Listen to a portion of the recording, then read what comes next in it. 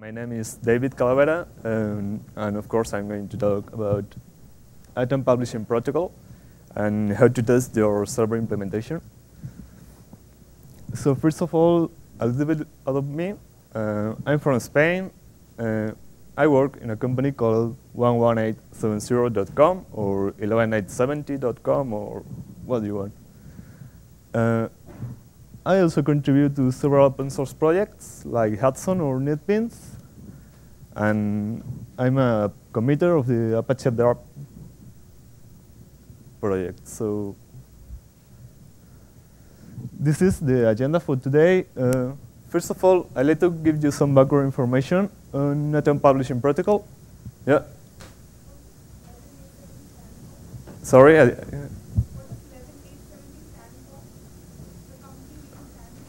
I, I don't know.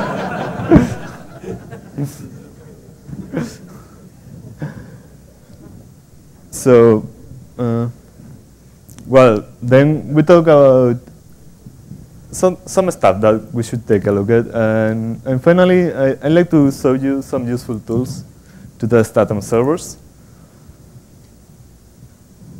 So, uh, how many of you are familiar with Atom Publishing Protocol? Well, so, well, I, I have three zero questions. How many of you are familiar with Atom Feeds? Yeah. And how many of you are familiar with HTTP? well, I, I have, I think it's the most difficult question I've never asked. How many of you are not familiar with XML? Let me say. So that's what I'm, I'm talking about. I'm talking about how to test HTTP. I'm talking about how to test XML. And I'm talking about how to test Atom syndication format. So this is just an introduction to the protocol specification. As I will cover pretty much everything, you can get more in-depth details if you read the RFC 5023. So what's Atom Publishing Protocol? It's a simple protocol for publishing content on the web. It was originally designed for weblogs, but as we'll see, it can also be applied to other areas. So yeah, it uses Atom syndication format. So resources are represented as Atom entries, and groups of resources are represented as Atom feeds or collections. And it doesn't only allow, allow us to publish plain content. It also defines the way of managing other types of elements like media files or binary files or anything. So we can find some examples. Uh, if we use WordPress, and we can manage our blogs with an AtomPub API, or if we use MuleGalaxy as a SOA governance platform, we can manage all of our services with, with another AtomPub API.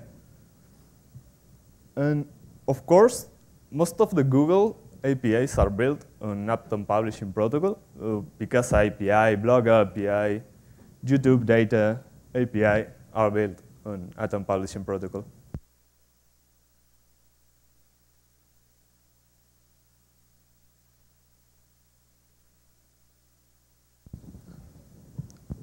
Right? Yeah. Okay. So it works over HTTP, and it's a REST-based protocol. So we need to find out how the most common HTTP method works. And we'll see how, how to use the post method in order to create new resources, uh, how to retrieve them through the get method, how to modify elements through the put method, and finally, how to use the delete method to remove these resources. And of course, AtomPub uses XML, so it's also an extensible protocol. Furthermore, since people started to use it outside weblogs, they've created uh, a bunch of, of extensions in order to complement the few elements that Atom format offers. So we can find uh, OpenSearch support or GeoRSS support, or one of the most recent internet drafts, the AtomPub multi-part media creation, that allow us to create resources sending multi-parted files. So let's look at how AtomPub actually works. It was designed as an introspective protocol. So all we need is a URL in order to work with it. This URL will be the endpoint to the service document. And this document defines the available collection feeds that we can work with. It also defines what kind of data we can retrieve or, or add to a specific collection. And on top of this, it will show us how we can categorize a document and each one of its elements. So once we've got the service document and the collections URL that we are going to use, we can start working. So in order to create a new resource, we have to send an entry to the collections URL using the post method. And if it was created successfully, the server should respond with a status code of 201 and a location header that contains the URI of the new resource.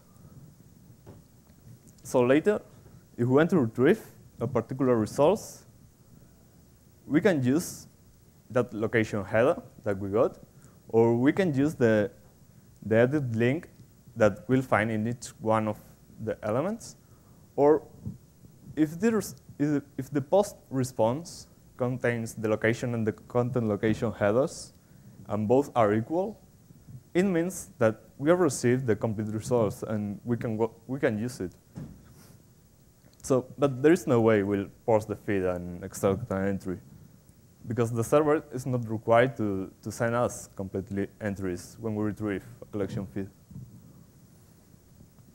So these URLs are also useful if we want to modify or remove a resource. If we want to change it, we'll send a put with a modified entry.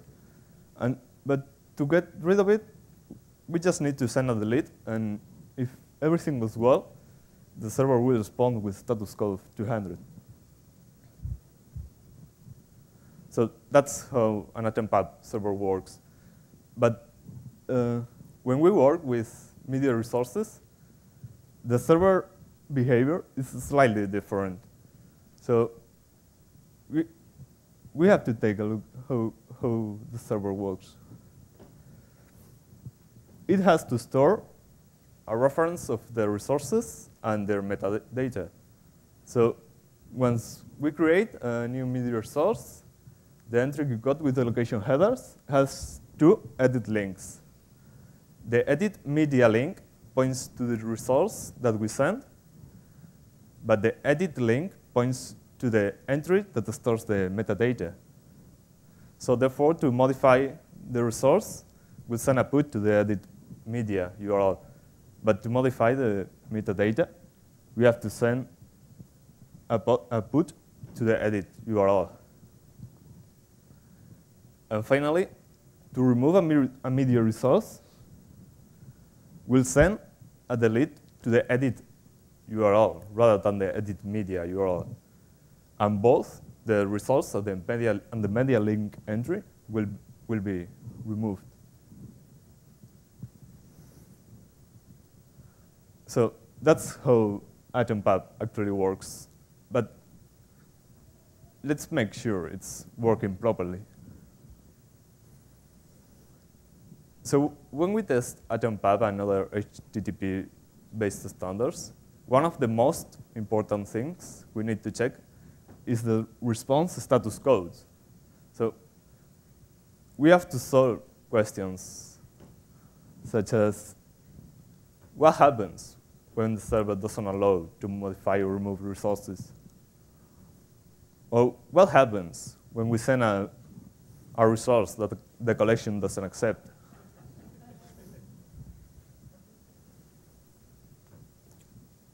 So a, a bunch of the most useful status codes. So can anyone help me? Can anyone tell me what all they mean?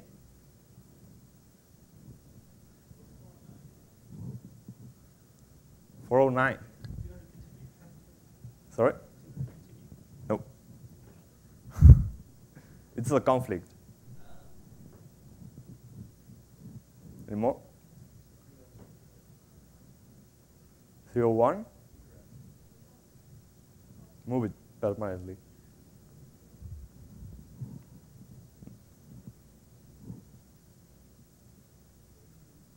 And 405?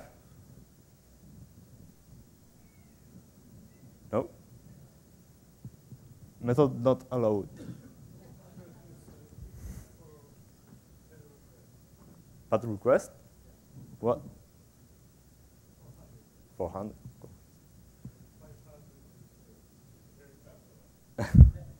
Internal server error, yeah. 200? okay. Yeah.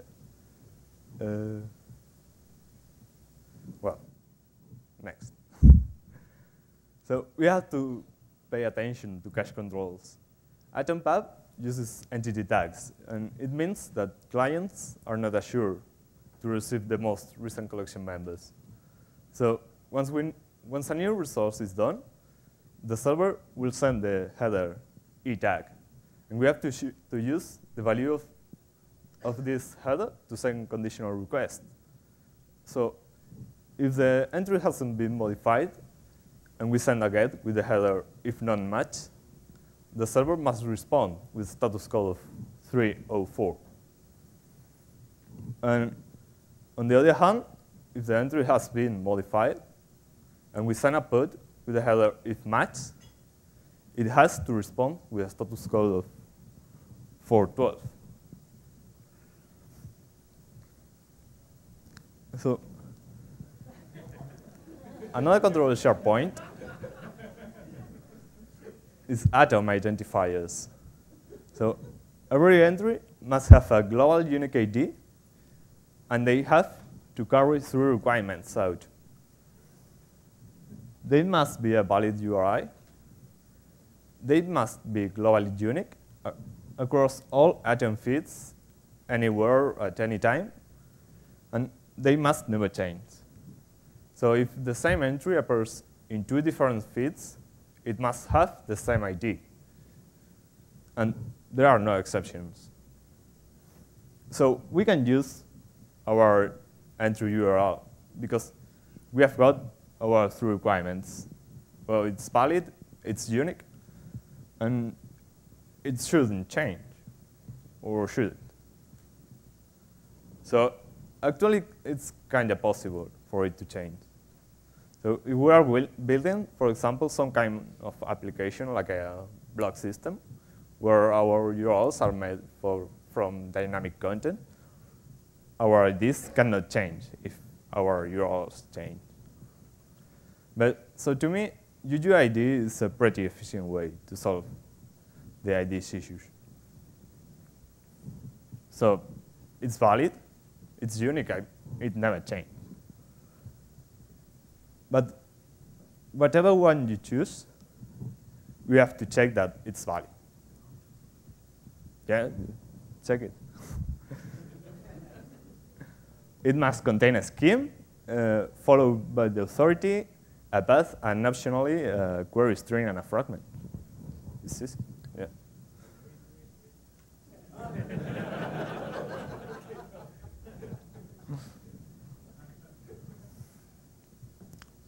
So manage, managing dates uh, is also an essential point. Atom formats provides three dates. Published, create, and update. But AtomPub added a new one, the edited date. And although we could, we could think that edited means the same as update, it doesn't. And most, most of the time, they should contain different dates. So updated should be modified uh, when we introduce a significant change. But edited should be brought up to date when we introduce uh, any slight change. For instance, if we are writing a post in our blog and we change a comma for a, peri uh, for a period, uh, the edited date should be modified. So data elements are also useful to store collections. They should be ordered by the edited element with the most recent edited entries coming first in the document. And we also have to ensure that if we modify one of these entries, the feed is properly sorted. So um, what about date formats? They must conform the RFC 3339. So a tick character must be used to separate date and time, and a seed character must be present in absence of the numeric timestamp offset. So that's it. Yeah, it works. So and finally, uh, date values should be as accurate as possible. So for example, it would be generally inappropriate for a publish for a publishing system to apply the same timestamp to several entries. Well, of course, one of the most important aspects to take into account is the entries content format. We must ensure that entries that clients send, as well as we have created, are well formatted. So each entry must contain a valid ID, a title, an updated date, and an edited date. And on top of this, if we don't provide an alternate, an alternate link, we must provide a content. And if this content is not in line or is encoded with base 64, we should provide a summary as well.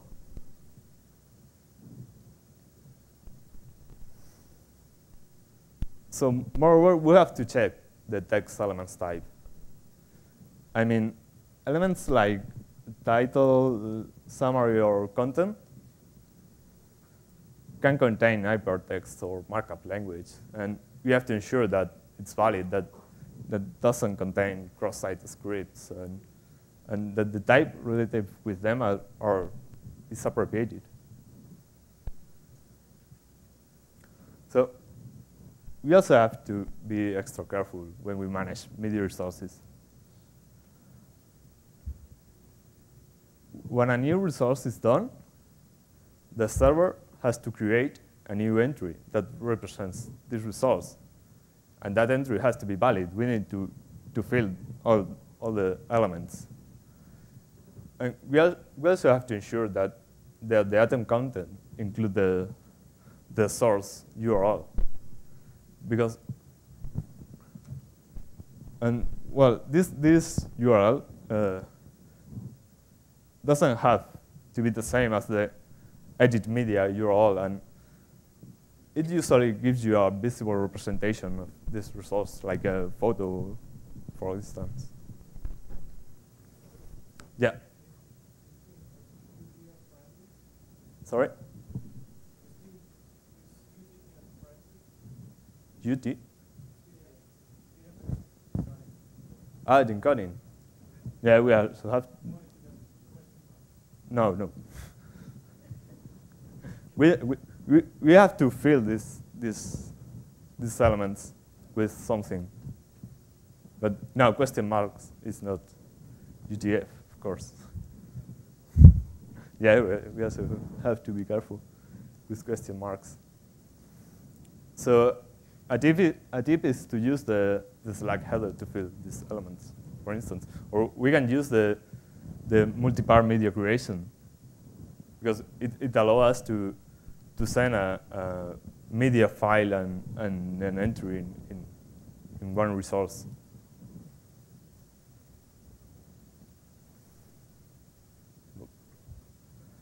So AtomPub also allows us to categorize resources there are two types of categories, fixed categories and affixed ones.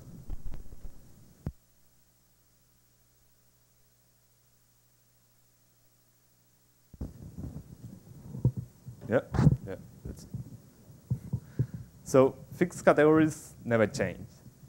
And we have to ensure that clients don't try to use elements not included in it. So if the server receives an unexpected category, it should respond with an error, uh, with an error code. But unfixed categories can be modified, of course. So if a client adds a category to an entry, we have to check that it's included in the document if it, if it doesn't already there.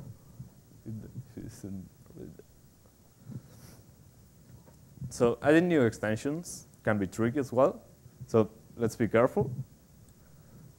So the, the, the schema in the atom syndication format doesn't, doesn't provide full validation for feed, for, for feed extensions.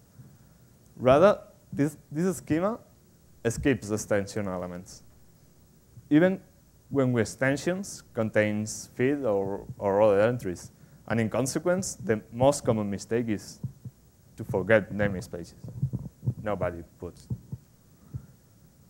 So we have to take this into account, and we should validate both the fit document and the extension document separately.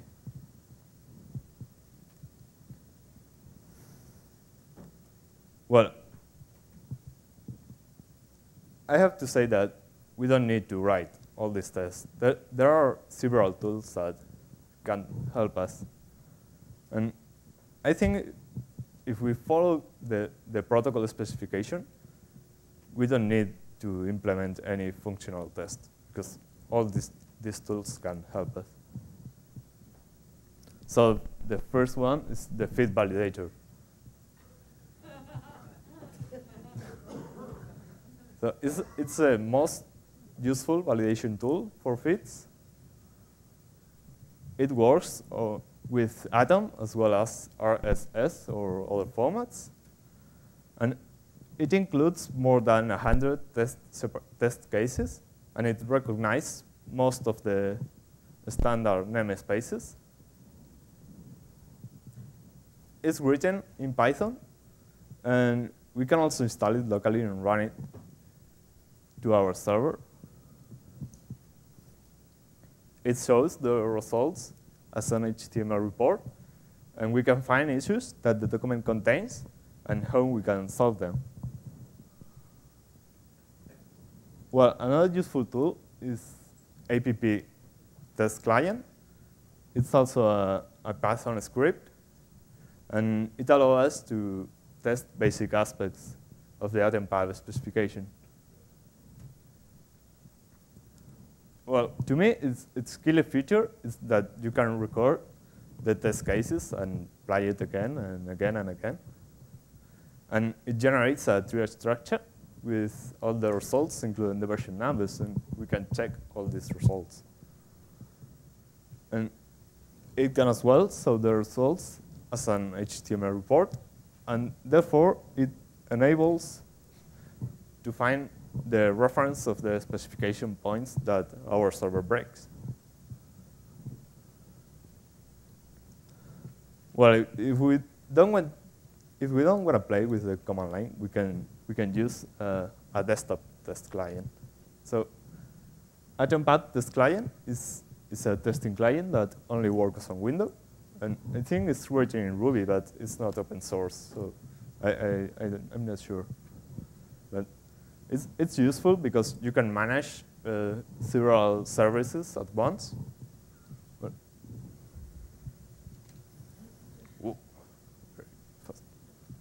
Well, and last but not least, it's the Atom Publishing Exerciser, or the APE.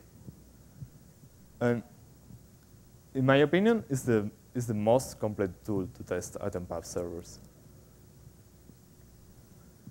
Uh, it includes more than 50 test cases.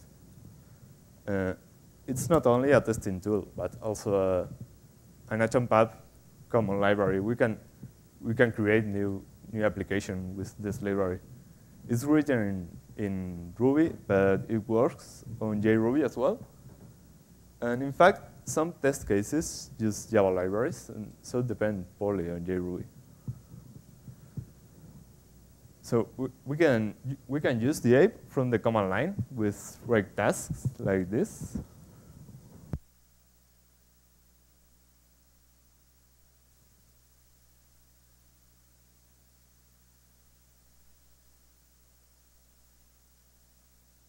Switch you out.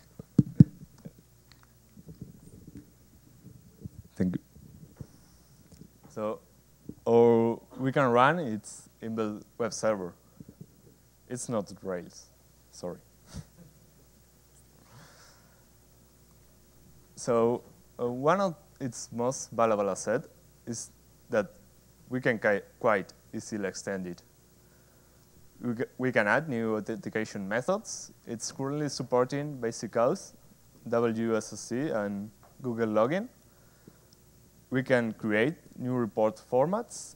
Uh, it's currently uh, supporting text, HTML, or, or Atom reports. And of course, we can add new test cases to, to the ape. So let's look at how to add new validators. Oof, I think I have a problem with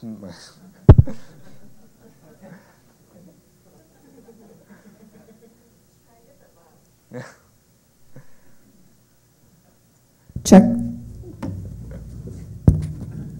I'll turn it off. Click, Yep. on, click on both of them. Yep. Nope.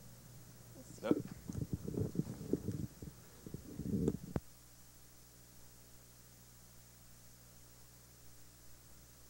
No.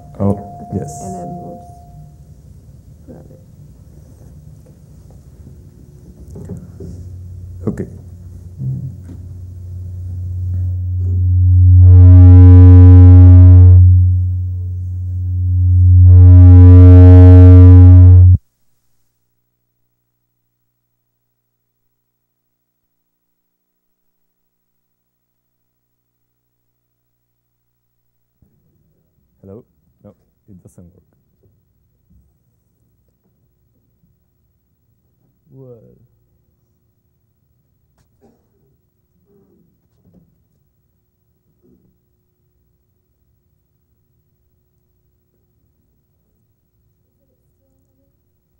Hi. Yeah, it works. Yeah.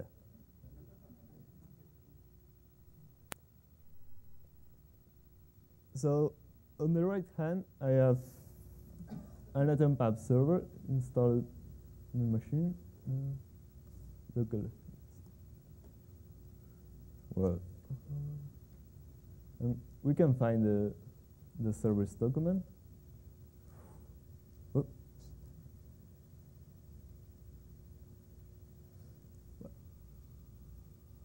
This is the service document. Uh, it has two collections that accept atom entries, atom entries, and one more that accepts everything. So, on the other hand, I have the source code of the ape. Uh, so I can execute break tests. Uh, well, uh,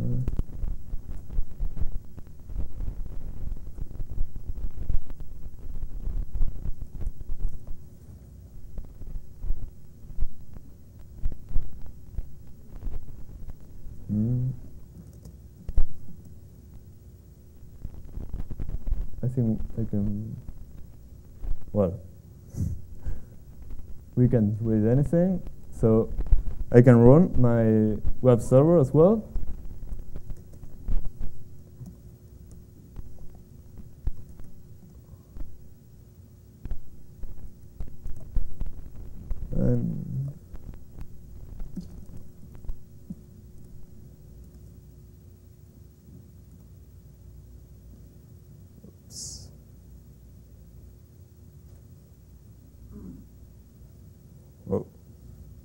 humans.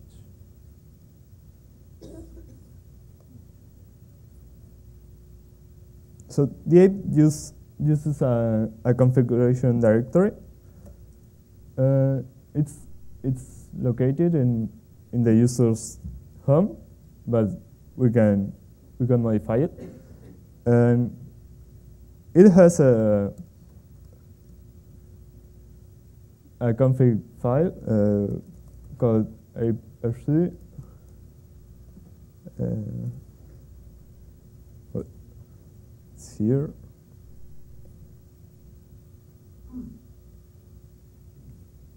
Well, in this file, uh, we can we can disable all the default tests if we don't want to use, or we can specify uh, the name of the collection that we are uh, that we are going to use.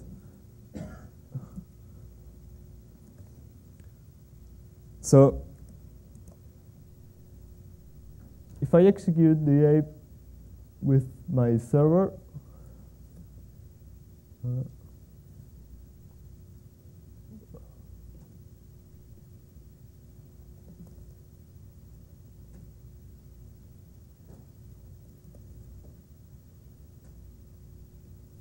with all the te- default test disabled, I can see some information on the server. So it has two collections that accept atom entries and one collection that accept anything.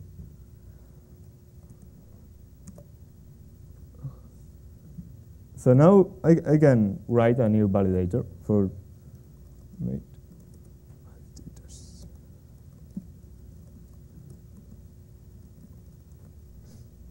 Validator. Mm.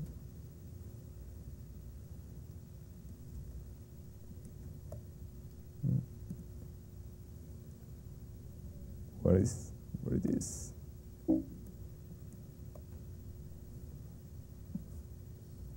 Oh no, it's not. I don't know what it is.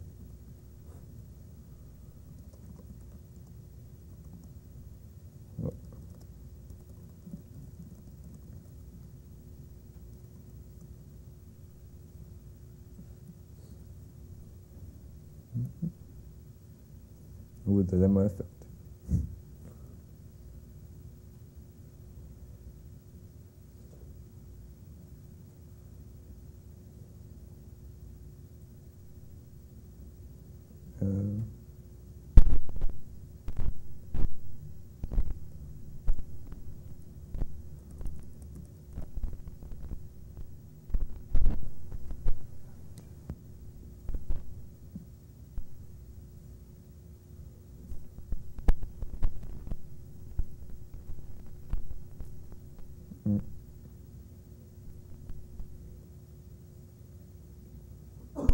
I'm sorry, but I don't know it is.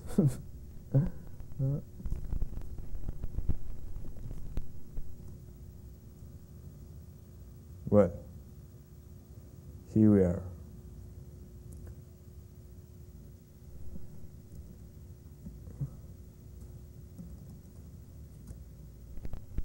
So if we use TextMate, I, I have some snippets that can help us. Uh, well, a, a validator is just a Ruby class. Uh,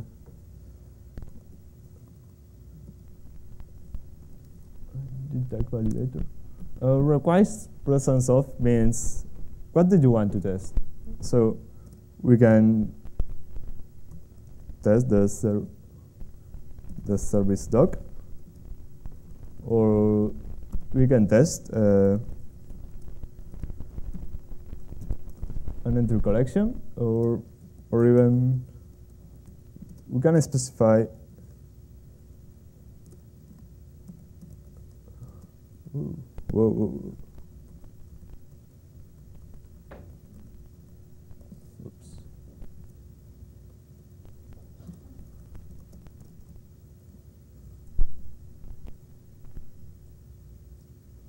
Well.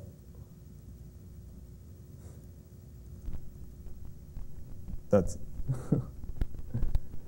so I'm going I'm gonna test an entry collection. So this this is just a basic test. So I want to show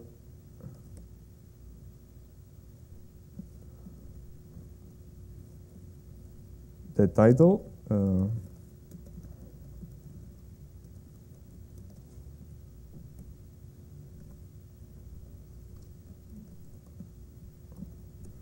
so if it works fine, uh, the map options uh, should include the, the entry collection. Entry collection.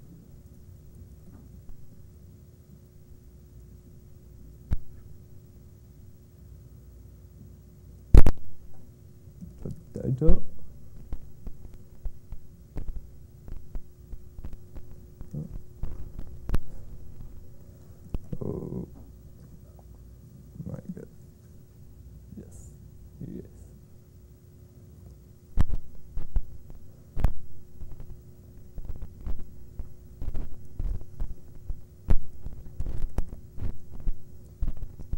So if I execute it again, so I can see my, my new validator here. Uh, these are very basic tests. So, so I, I'm gonna I'm gonna disable the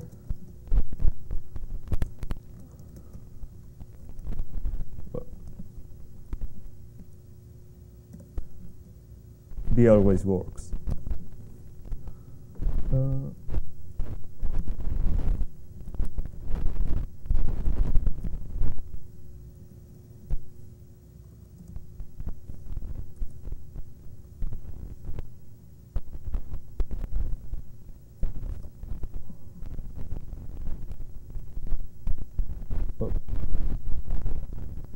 think I have to restart it.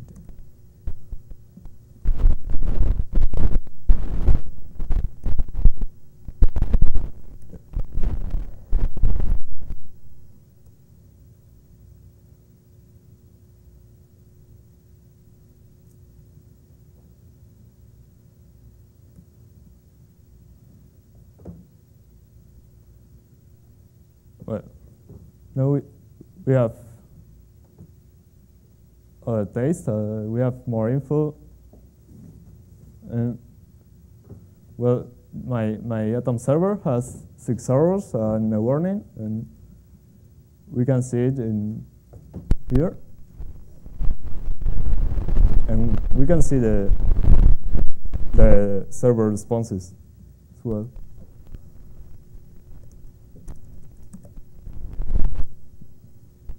So that's it.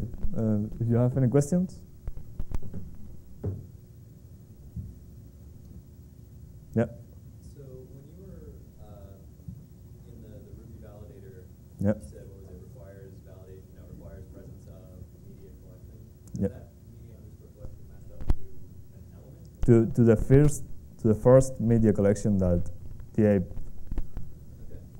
Yeah. Is, is, but in, in Atom, it's not media underscore collection, right? No. no. So what's the mapping? Yeah. Uh, media collection means a collection that doesn't accept entries, atom entries. Okay. So Yeah, but you, you can specify uh, just a collection. I, I want to notice a collection. You don't need to write entry collection or media collection. Okay. Uh, so it's any different type of like Atom entry essentially. Yeah. can put in there. Yeah. Uh, entry collections accept atom entries, and media collection doesn't accept Okay. atom entries. That's it.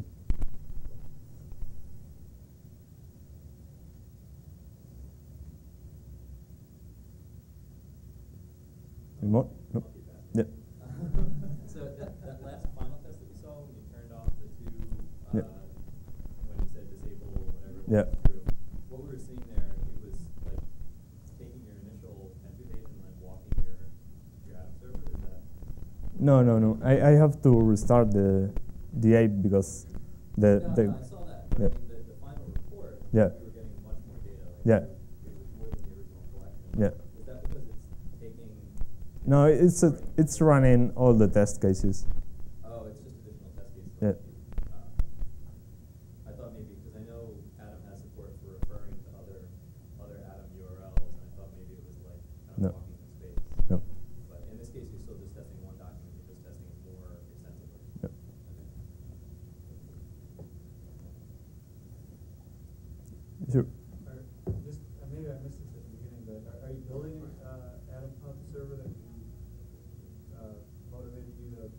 test it, or what's your, What's my background?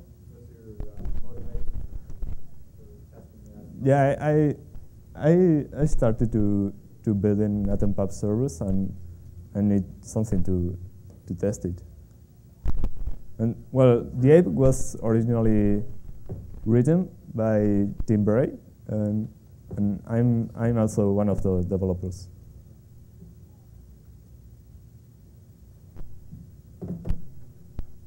So while you were testing the, um, because you were also one of the developers, then um, did you find any of the codes that you have, uh, any of the bugs that you, you yourself had introduced and then discovered it later on, gee, I forgot about this bug?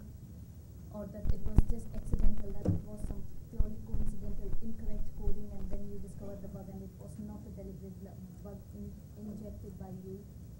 No, no, I, no, I, it was just accidentally. okay.